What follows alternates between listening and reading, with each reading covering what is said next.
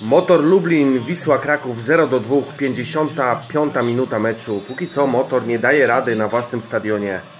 Zostaw suba i łapeczkę w górkę.